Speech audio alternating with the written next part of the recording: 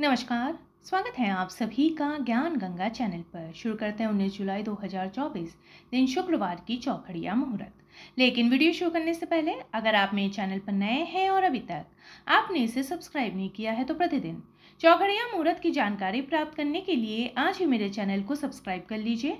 साथ में bell icon को प्रेस कर दीजिए ताकि आपको मेरे वीडियोज़ की नोटिफिकेशन मिलती रहे। वीडियो अच्छा लगे तो उसे लाइक और शेयर करना बिल्कुल मत भूलिए। तो चलिए शुरू करते हैं। शुक्रवार की चौखड़िया मुहूर्त।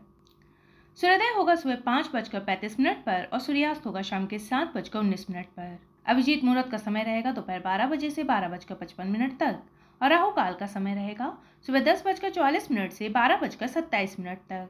दिन की शुभ चौघड़ियाँ इस प्रकार रहेंगी, चर चौघड़ियों का समय रहेगा सुबह पाँच बजकर पैंतीस मिनट से सात बजकर अठारह मिनट तक। लाभ चौघड़ियों का समय रहेगा सुबह सात बजकर अठारह मिनट से नौ बजकर एक मिनट तक। अमृत चौघड़ियों का समय रहेगा सुबह नौ बजकर एक मिनट से दस बजकर चालीस मिनट तक। अमृत चौघड़ियों के समय सही प्रकार के शुभ एवं मांगलिक कार्य किए जा सकते हैं। लेकिन इस समय वारवेला भी लग रही है और वारवेला के समय किए गए शुभ एवं मांगलिक कार्य फलदायी नहीं रहते, इसलिए इस मुहूर्त को त्यागना ही उचित है। शुभ चौघड़ियों का समय रहेगा दोपहर बारह बजकर सत्ताईस मिनट से दो बजकर दस मिनट तक।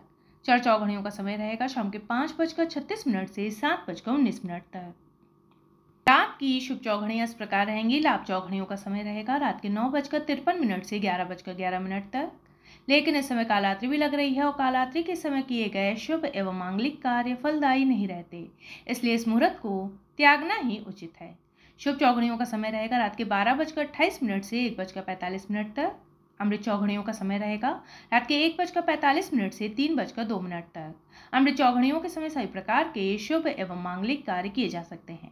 चर चौगड़ियों का समय रहेगा रात के तीन बजकर दो मिनट से बीस जुलाई की सुबह चार बजकर उन्नीस मिनट तक। तो ये थी जानकारी शुक्रवार के चौघड़िया मुहूर्त की। मेरे वीडियो में अंत तक बने रहने के लिए आपका बहुत बहुत धन्यवाद। फिर मिलेंगे किसी नए वीडियो के साथ।